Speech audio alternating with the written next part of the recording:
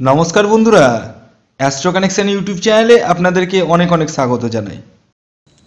বন্ধুরা, এই কোজাগরি লক্ষ্মী পূজাতে এই ছয় রাশির জাতক ও জাতিকার জীবনে মা লক্ষ্মী কড়া নাড়তে চলেছে। হ্যাঁ বন্ধুরা, অর্থাৎ আপনাদের জীবনে অগাধ ধনবর্ষা হতে চলেছে। কোন সেই ছয় সৌভাগ্যশালী রাশি তা আমি অবশ্যই বলব। তাই ভিডিওটি সম্পূর্ণ দেখতে থাকুন। নমস্কার আমি কল্যাণ রায়। শুভ সুশীঘ্র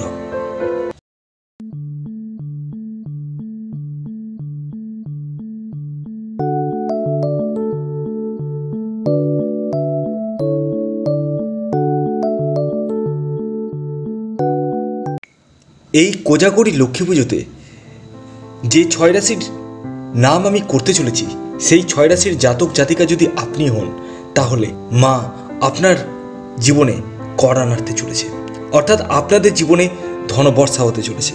সেটা চাকরি থেকে বলুন, ব্যবসা থেকে বলুন সেলফ প্রফেশন থেকে বলুন, বা উত্তরাধিকারী সূত্র থেকে বলুন, বা লটারি থেকে বলুন, যে কোনো উপায়ে কিন্তু আপনাদের জীবনে ধন আসতে বাধ্য। হ্যাঁ বন্ধুরা, তবে এ প্রসঙ্গে কিছু টার্মস অ্যান্ড কন্ডিশন রয়েছে। সেই টার্মস অ্যান্ড কন্ডিশন আমি আপনাদেরকে পূর্বে জানিয়ে দিই। তারপরে আমি আপনাদেরকে জানাতে চলেছি কোন সেই ছয় সৌভাগ্যশালী রাশি যারা মা লক্ষ্মীর কৃপায় কোটিপতি হতে চলেছে? তার আগে, যারা অনলাইন আমার সাথে কনসাল্ট করতে চান, অর্থাৎ আপনাদের জন্মছক বিচার করতে চান, তারা স্ক্রিনে দেওয়া হোয়াটসঅ্যাপ নম্বরে যোগাযোগ করতে পারেন। একটি কথা মাথায় রাখবেন, এটি কেবলমাত্র বুকিং নাম্বার অর্থাৎ এই নাম্বারে কেবলমাত্র বুকিং করা হয়। তাই কেবল তারাই যোগাযোগ করুন যারা জন্মছক বিচার করাতে চান। এবার আসুন আমি আপনাদেরকে জানিয়ে দিই কী সেই টার্মস অ্যান্ড কন্ডিশন রয়েছে। প্রথমত, আপনার জন্মছকটি আগে ঘাঁটুন এবং দেখুন সেখানে বৃহস্পতি গ্রহের অবস্থান কেমন রয়েছে। হ্যাঁ বন্ধুরা, অর্থাৎ বৃহস্পতি আপনার কেমন পজিশনে রয়েছে। যদি শুভ পজিশনে থাকে, তাহলে হান্ড্রেডে হান্ড্রেড আপনারা কিন্তু ফল পাবেন। এছাড়াও, আপনি মদ্যপান করেন না তো? আপনার পর নারীর প্রতি কোনো আসক্তি নেই তো? আপনি বাড়িতে কলহ করেন না তো? যদি এইগুলি আপনি করেন, তাহলে আমার কথা মাটিতে পড়ে যাবে। মা লক্ষ্মী সব জায়গায় আসে না।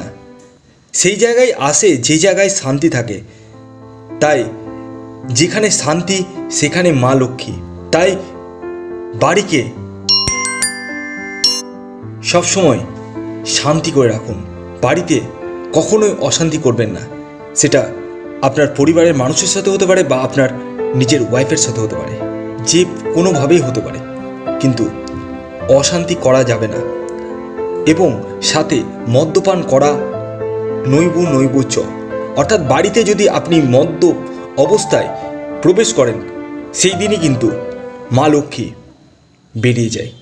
যদি আপনারা এরকম কাজ করে থাকেন, তাহলে তো পাওয়ার চান্স একদমই ক্ষীণ। কিন্তু আমি একটি উপায় ভিডিও শেষে বলব। যে উপায়টি আপনারা করলে এই খারাপ প্রভাব থেকে নিস্তার পেয়ে যাবেন। তাই ভিডিওর শেষ পার্টটাও আপনাদের জন্য এক্সট্রিম পর্যায়ে ইম্পর্টেন্ট আসুন, এবার আমি জানিয়ে দিই কোন সেই ছয় সৌভাগ্যশালী রাশি। তো প্রথম যে রাশির কথা আমি বলব, সেটি হচ্ছে তুলা রাশি। হ্যাঁ বন্ধুরা, আপনি যদি তুলা রাশির জাতক বা জাতিকা হন, তাহলে মা লক্ষ্মী আপনাদের গৃহে কড়া নাড়তে চলেছে। অর্থাৎ আপনাদের ধনবর্ষা হতে চলেছে। আপনাদের জীবনে ধন আসতে চলেছে।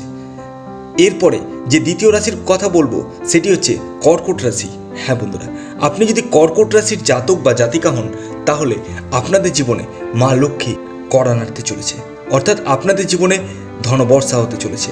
এরপরে যে তিন নম্বর রাশির কথা বলব, সেটি হচ্ছে মীন রাশি। হ্যাঁ বন্ধুরা আপনি যদি মীন রাশির জাতক বা জাতিকা হন, তাহলে মা লক্ষ্মীর কৃপায় আপনাদের জীবনে ধনবর্ষা হতে চলেছে। অর্থাৎ মা লক্ষ্মী আপনাদের জীবনে কড়া নাড়তে চলেছে। এরপরে যে চার নম্বর রাশির কথা বলব, সেটি হচ্ছে বৃষ রাশি। হ্যাঁ বন্ধুরা, আপনি যদি বৃষ রাশির জাতক বা জাতিকা হন, তাহলে আপনারাও কিন্তু মা লক্ষ্মীর কৃপায় ধনশালী ব্যক্তিতে পরিণত হতে চলেছে। অর্থাৎ মা লক্ষ্মী আপনাদের গৃহে কড়া নাড়তে চলেছে।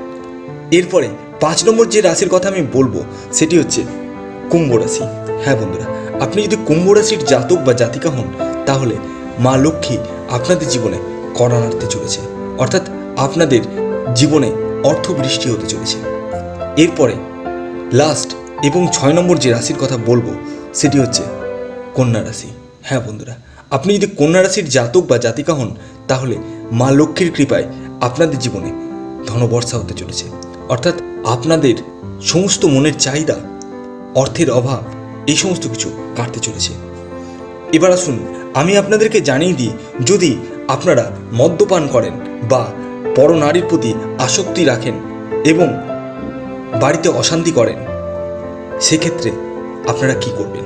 প্রথমত, বাড়িতে অশান্তি যারা করেন, তাদেরকে বলব সেটা আপনাকে নিজেকেই কন্ট্রোল করতে হবে, রাগকে কন্ট্রোল করতে হবে এবং যদি আপনার ভালো না লাগে বাড়িতে, তাহলে আপনি বাইরে ঘুরে আসতে পারেন। বাট বাড়িতে বসে বসে অশান্তি করা যাবে না। ফার্স্ট অফ অল দ্বিতীয়, যাদের পরনারীর প্রতি খুব আসক্তি রয়েছে, তারা সেই হ্যাবিটটা পরিত্যাগ করে দিন। নয়তো আপনাদের জীবনে মা লক্ষ্মী প্রবেশ কখনোই করবে না। এরপরে লাস্ট যে কথাটি বলব, সেটি হচ্ছে মদ্যপান। মদ্যপান নৈব নৈব চ অর্থাৎ মদ্যপান করা একদমই যাবে না। তাই যারা যারা এডিক্টেড রয়েছেন, তাদেরকে বলব, আপনারা কোনো হোমে যান এবং সেখানে কিছুদিন থাকুন এবং তাদের দেওয়া ওষুধ খান। তাতে আপনাদের এই এডিকশান কেটে যাবে। তো ভিডিওটি কেমন লাগল অবশ্যই জানান। যদি ভিডিওটি ভালো লাগে এখন একটি লাইক করে দিন শেয়ার করে দিন এবং এখনও পর্যন্ত সাবস্ক্রাইব না করে থাকলে সাবস্ক্রাইব করে ফেলুন। ধন্যবাদ।